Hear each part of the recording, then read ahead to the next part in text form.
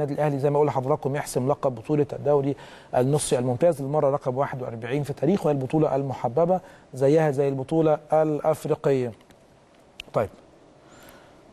طيب نروح لمداخلة من التدريب ومع الزميل العزيز عمر عبد الحفيظ علشان نعرف منه آخر الأخبار الخاصة بتدريبات النادي الأهلي. تاني مع الناقد الرياضي الأستاذ عمر عبد الحفيظ. أستاذ عمر برحب بحضرتك.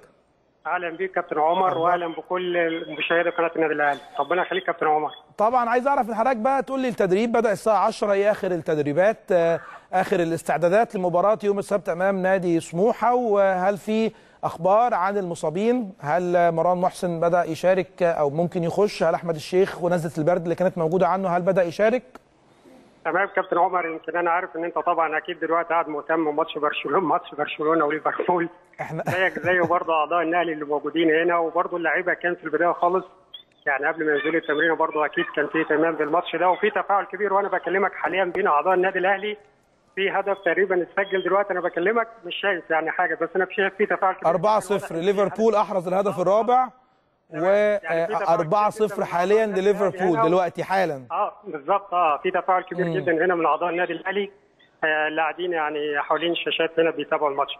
طبعا استعدادات النادي الأهلي. يمكن النهارده الأهلي بدأ تدريباته امبارح كان واخد راحة. مستر رسارتي اداهم راحة 24 ساعة آه بعد ماتش النجوم. بدأ النهارده الاستعداد بتاعته لماتش سموحه آه بدأ في البداية خالص مستر رسارتي بمحاضرة مع اللعيبة. يمكن محاضره مطولة شوية.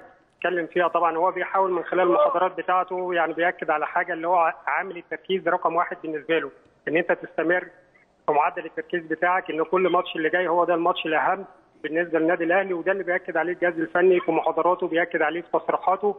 كابتن سيد حفيظ كمستر لاسارتي أي حد من الجهاز الفني بيأكد على إن أي ماتش أي ماتش جاي هو ده الماتش الأهم بالنسبة للنادي.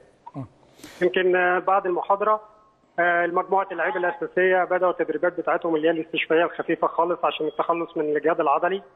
آه بعدين كان في تمرين لباقي اللاعبين آه حاليا دلوقتي يعني هم بيعملوا عملوا تدريبات بدنية تحت إشراف اليخاندرو بخط الأحمال. آه بعدين طبعا هيكون في تقسيمة والتمرينه دلوقتي شغالة وأكيد هيكون في تقسيمة بتاع المجموعة الأساسية مستر رسارتي يعني هيشتغل فيها على الجانب الخططي اللي هو هيحاول ينفذه يعني في الماتش بتاع سموحه. بالنسبة للغيابات اللي هو المجموعة اللي كانت غايبة الفترة اللي فاتت أو اللي ما كانوش موجودين على وجه التحديد في الماتش في ماتش النجوم موجود موجود كابتن مروان بيشارك في التدريبات بصورة طبيعية. ويمكن كابتن مروان جاهز يعني هو جاهز يعني الجهاز الفني بياكد إن هو جاهز. جاهز كناحية بدنية جاهز جاهز كناحية بدنية وكده للمشاركة في المرحلة اللي جاية. موجود برضو إسلام محارب. معاك كابتن عمر؟ معايا آه اتفضل مع حضرتك مع حضرتك. آه تمام. موجود موجود إسلام محارب موجود في التدريبات موجود ناصر ماهر. تمام؟ يمكن كان في على لطفي بس يعني بيعمل تدريبات تأهيلية.